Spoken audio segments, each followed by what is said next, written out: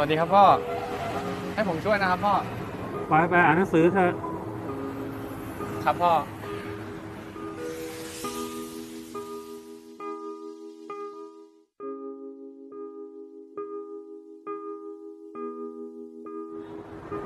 เงินเดือนเดือนแรกในชีวิต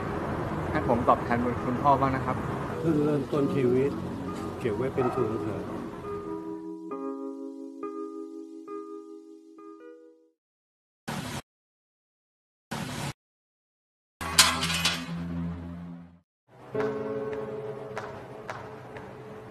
สียใจด้วยนะครับ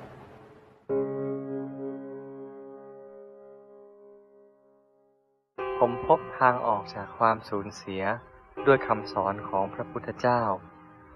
พระองค์สอนให้ผมมีสติ ไม่ให้หลงทางชีวิต พระองค์คือพระพุทธบิดาของผม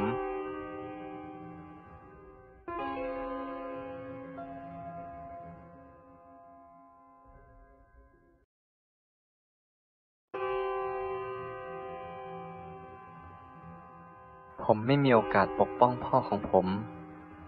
วันนี้ผมขอปกป้องพระพุทธองค์ ผมจะไม่ให้โอกาสนี้สูญไปอีก พระพุทธรูปทำให้ผมคิดถึงคำสอนของพระองค์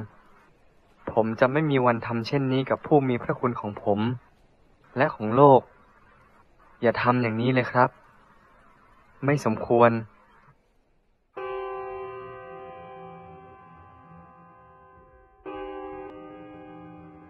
หยุดเถอะครับ พระองค์ทรงเป็นยิ่งกว่าพ่อ อย่าลบหลู่พระองค์เลยครับ